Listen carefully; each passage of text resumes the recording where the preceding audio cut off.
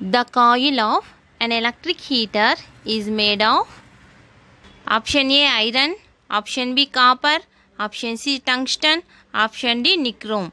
Guess the answer in 5 seconds. Your time starts now.